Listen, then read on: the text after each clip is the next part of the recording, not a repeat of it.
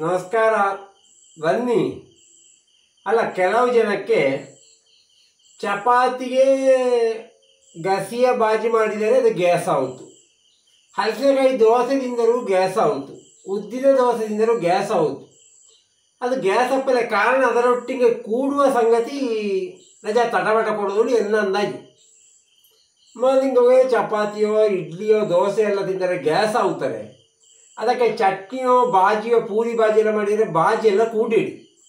ಹೀಗಿತ್ತೊಂದು simple item ಇದರಲ್ಲಿ gas ಎಂತ ಆಗುತ್ತಿಲ್ಲ. ದೋಸೆಗೂ ಹಾಕು ಎಂಥ ತಿಂಡಿಗೂ ಬೇಕು ಭಾರಿ ಸಿಂಪಲ್ ಆಗಿ ಮಾಡಲಾವು. ಹೇಳಿದರೆ ತೆಂಗಿನಕಾಯಿ ಒಬ್ಬ ಅಥವಾ ಇಬ್ಬರು ಇಪ್ಪತ್ತೋಳಿ ಆದರೆ ಒಂದು ತೆಂಗಿನಕಾಯಿ ಮಾಡಿದರೆ ಎಂಥ ಮಾಡೋದಂದ್ರೆ ಹಾಳಾಗಿ ಹೋಯ್ತು ಅಥವಾ ಒಂದು ಹೊತ್ತಂಗೆ ಮಾತ್ರ ಒಂದು ಚಟ್ನಿ ಬೇಕಾರೆ ರಪಕ್ಕ ಮಾಡಿಕ್ಕೂ ರಪಕ್ಕ ಮುಗಿಯಬೇಕು ಹಾಗಿಪ್ಪೊಂದು ಅವಸ್ಥೆ ಇಲ್ಲ ಎಂತೆಲ್ಲ ಬೇಕು ಅಂತ ನೋಡಿ. ಇದು ಐದು ನಿಮಿಷದಲ್ಲಿ ಕೆಲಸ ಫಿನಿಶ್ ಹೆಂಗೆ ಹೇಳಿದರೆ ನಾನು ಹೇಳೋದು ಹತ್ತು ನಿಮಿಷಕ್ಕೀಗ. ಒಂದು ಟೊಮೆಟೊ, ಒಂದು ನೀರುಳ್ಳಿ, ಒಂದು ಕಾಲು ಇಂಚು, ಇದರಲ್ಲಿ ಅರ್ಧ ಇಂಚು ಇದ್ದೀಗ, ಒಂದು ಕಾಲು ಇಂಚಿನ ಅಷ್ಟೊಂದು ಶಾಸಿ ಶುಂಠಿ. ಇದೆಂತ ಕೇಳಿದರೆ ನಮ್ಮ ಗ್ಯಾಸಿನೆಲ್ಲ ಹೊಡೆದು ತೆಗೊಳ್ಳೆ. ಜೀರ್ಣ ಶಕ್ತಿಯ ಸರಿ ಮಾಡಲೇಬೇಕಾಗಿ ಹಾಕೋದೊಂದು ಉಂಡು ಒಂದೊಂದು ನಿಂಬೆ ಹುಳಿದ ಕಡೆಗೆ ಹಾಕಲಕ್ಕು ಬೇಕಾದ್ರೆ, ಈಗ ನಿಂಬೆ ಹುಳಿ ಇಲ್ಲೇ. ಒಂದು ನಾಲ್ಕು ಬಿತ್ತು. ಒಳ್ಳೆ ಮೆಣಸು ಒಂದು ಎರಡು ಬಿತ್ತು ಲವಂಗ ಹಾಕಲಕ್ಕೆ ಬೇಕಾದ್ರೆ ಒಂದು ತುಂಡು ಬೆಲ್ಲ ಒಂದು ಎರಡು ಮೂರು ಬಿತ್ತು ಓಟೆ ಹುಳಿ ಒಂದು ಅರ್ಧ ಚಮಚ ಸಾಸವೆ ಒಂದು ಅರ್ಧ ಚಮಚ ಉದ್ದಿನ ಬೇಳೆ ಒಂದು ಹಸಿಮೆಣಸು ಒಂದು ಕುಮಟೆ ಮೆಣಸು ಒಂದು ನಾಲ್ಕು ಚಮಚ ತೆಂಗಿನೆಣ್ಣೆ ಇದಕ್ಕಷ್ಟು ಹೊಡಿ ಉಪ್ಪು. ಅಷ್ಟೇ ಇದಕ್ಕೆ ಬೇಕಾದ್ದು.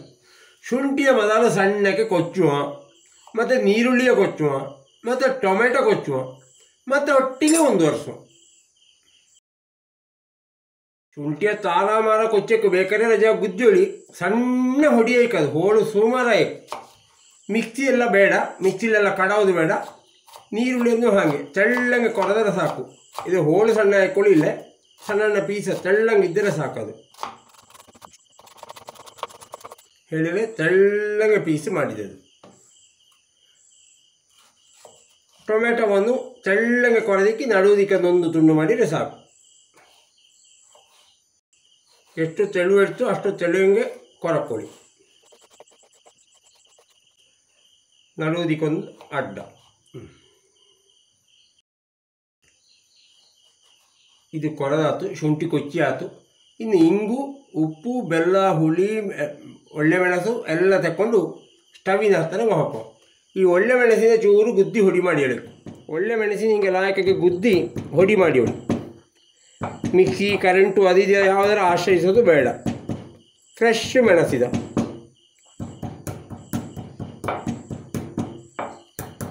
ಇದು ಸರಿ ಹೊಡಿಯಾಗಾದರೆ ಕಲ್ಲುಪ್ಪು ಹಾಕಿ ಒಟ್ಟಿಗೆ ಗುದ್ದಿಯಲ್ಲಿ ಲಾಯ್ಕೆ ಹೊಡಿ ಹೋಗುದು ಮೆಣಸಿನ ಹೊಡಿ, ಒಂದು ಕರೆಯಲ್ಲಿ ಇರಲಿ ತಟ್ಟೆಯಲ್ಲಿ ಖಾರ ಬೇಕಷ್ಟೇ ಹಾಕಿ ಹೇಳಿ. ಮೆಣಸು. ಇದೊಂದು ಸಿಗದ ಹಾಕುವ ರಜ ಖಾರಕ್ಕೂ ಸ್ಟವಿನ ಹತ್ತಿರ ಹೋಗಿ ಒತ್ತಿಸಿ ಕಿಂಚಡಿ ಮಾಡ್ಬೋದು ಒಂದು ಮೂವತ್ತು ಎಮ್ ಎಲ್ ನಲ್ವತ್ತು ಎಮ್ ಎಲ್ನಷ್ಟು ತೆಂಗಿನ ಎಣ್ಣೆ ಹಾಕ್ಯಂಬೋದು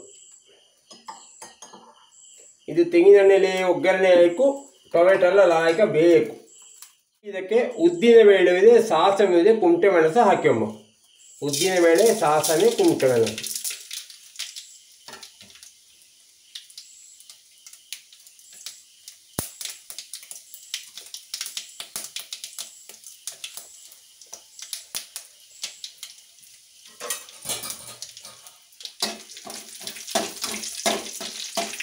ಸ್ವಲ್ಪ ಹಾಕಿ ಫ್ರೈ ಆಗಲಿ ಬೇಕಾದರೆ ಸಣ್ಣಕ್ಕೆ ಕೊಚ್ಚಿಯೂ ಹಾಕ್ಕೊಂಬಲಕ್ಕು ಇದಕ್ಕೆ ನೀರುಳ್ಳಿ ಹಾಕಿಬಿಡಬೇಕು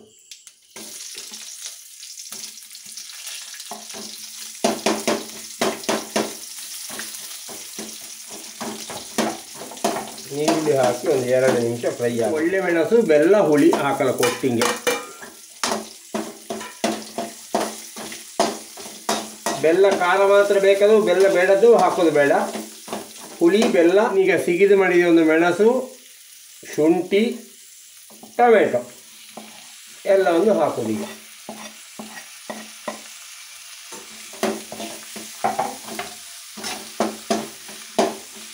ಚೂರು ಹಿಂಗು ಹಾಕುವ. ರುಚಿಗೆ ತಕ್ಕಷ್ಟು ಉಪ್ಪು ಹಾಕಿ. ಲಾಯ್ಕ ಎಣ್ಣೆಲೇ ಅದು. ಇದರಲ್ಲಿ ಅರಿಶಿನ ಹುಡಿ ಮೆಣಸಿನ ಹುಡಿ ಯಾವುದೇ ಕೆಮಿಕಲ್ ಹುಡಿ ಯಾವುದು ಇಲ್ಲ. ಇದಕ್ಕೊಂದು ಅರ್ಧ ಗ್ಲಾಸಿನಷ್ಟು ನೀರು ಸೇರಿಸಬೇಕು. ಅಥವಾ ಮುಕ್ಕಾಲು ಗ್ಲಾಸ್ ಆದರೂ ತೊಂದರೆ ಇಲ್ಲ. ಹುಳಿ ಕಾರಲ್ಲ ಒಳ್ಳೆ ಕಡಕ್ಕೆ ಇದ್ದಿದ್ದು. ಸಣ್ಣ ಮಟ್ಟಿನ ಅರ್ಜೆಂಟಿಂಗ್ ಇಪ್ಪ, ತಿಂಡಿಗೆ ಕೂಡಲೇ ಇಪ್ಪ ಒಂದು ಚಟ್ನಿ ಹಂಗೆ. ಹೇಳಿದರೆ ಇದು ತಟ್ಟು ಕಡೆಯಲ್ಲಿದ್ದಂತೆ, ಸಣ್ಣ ಗೂಡಂಗಡಿ. ಹೋಟ್ಲು ಗೂಡಂಗಡಿ ಇರ್ತಿದೆ. ತೆಂಕ್ಲಾಗೆಲ್ಲ ಜಾಸ್ತಿ ಇಪ್ಪದು ಕೇರಳ ಸೈಡ್ ತಟ್ಟು ಕಡೆಯಲ್ಲಿ.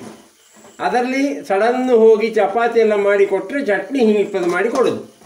ಭಾರಿ ರುಚಿ ಆಯಿತು ಆ ಚಪಾತಿ ಗ್ಯಾಸ್ ಎಂತ ಆಗುತ್ತಿಲ್ಲ. ಯಾಕಂದರೆ ಶುಂಠಿ ಕಾಳು ಮೆಣಸೆಲ್ಲ ಹಾಕಿ, ಹಸಿಮೆಣಸು ಹಾಕಿ ಮಾಡೋದು. ಬೇರೆಂತ ಹುಡಿ ಹಾಕಲಿಲ್ಲ ಇದಕ್ಕೆ. ಹಾಗಾಗಿ ಜೀರ್ಣಕ್ಕೆ ಭಾರಿ ಲಾಯ್ಕ ಆಗುತ್ತಿದೆ. ನಿಂಬೆ ಹುಳಿ ಇದ್ದರೆ ಬೇಕಾದರೆ ಆಗುತ್ತೆ ಒಂದು ಅರ್ಧ ಗಡಿ. ಇದಕ್ಕೀಗ ನಿಂಬೆ ಹುಳಿ ಹಾಕಿದ್ದಿಲ್ಲ. ಒಂದು ಐದು ನಿಮಿಷ ಹಿಂಗೆ ಕೊದಿದರೆ ಸಾಕು. ಅದಕ್ಕೆ ಬೆಂತು ಒಳ್ಳೆ ಘಮ ಘಮ ಪರಿಮಳವೂ ಬಂತು. ಸ್ಟವಿನ ಆಫ್ ಮಾಡಿ ಎಂಬುದು. ಈಗ ನೋಡಿ. ಈ ಬೌಲಿಂಗ್ ಅದರ ಹಾಫ್ ಇದು ತುಂಬ ಹೇಳಿದರೆ ಬೇಕಾದಷ್ಟೇ ಮಾಡಿ ಎಂಬ ಕ್ರಮ. ಬೆಸಿ ಬೆಸಿ ಇರಬೇಕು.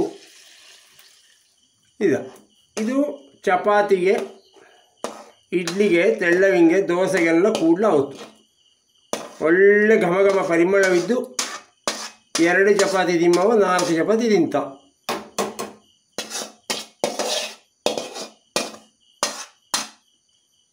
ಇದು ಕೇರಳ ಸ್ಟೈಲಿನ ತಟ್ಟು ಕಡೆಯ ಚಟ್ನಿ ಟೊಮೆಟೊ ಚಟ್ನಿ ಹೆಂಗೆ ಕಾಮ ಹರೇ ರಾಮ್